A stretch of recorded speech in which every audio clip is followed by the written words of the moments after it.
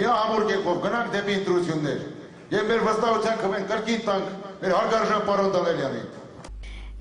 Համշնահայերի գարդման հայրենակցական միության անդամները փետրվարի 12-ին Հրազդանի քաղաքապետի ընտրություններում իրենց ձայնը տալու են գործող քաղաքապետ Արամ Դանելյանին։ Համշնահայերի միության նախագահը ընդգծում է, որ այս կերպ իրենք սատարում են Սարգ Սարգսյանին։ Սատարելով նախագահին պետք է սատարենք բոլոր իր նախաձեռնությունները։ Հրազդանի քաղաքապետի տեխնացուներին ընդամենը երկու օր է մնում իրենց ընտրողներին կողմնորոշելու համար, եւ չնայած եղանակային վատ պայմաններին, բակային հանդիպումները շարունակվում են։ Գործող քաղաքապետի հանդիպումներում հիմնականում ելույթ են ունենում նրա հետ աշխատած հրազդանցիները։ Ես հավատում եմ, որ պարոն Դանելյանը այս տարիների ընթացքում ինչը որ դեռևս չի հասցրել անել, իր անելիքները ցույց կտա ժողովրդին։ Արամ Դանելյանն այսօր չժխտեց, որ Հրազդան քաղաքը բազմաթիվ խնդիրներ ունի եւ դրա համար ընտրողներից ժամանակ խնդրեց։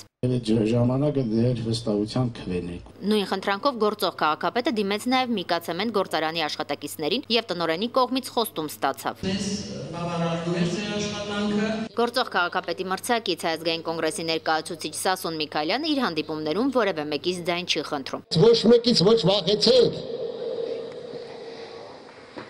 Ոչ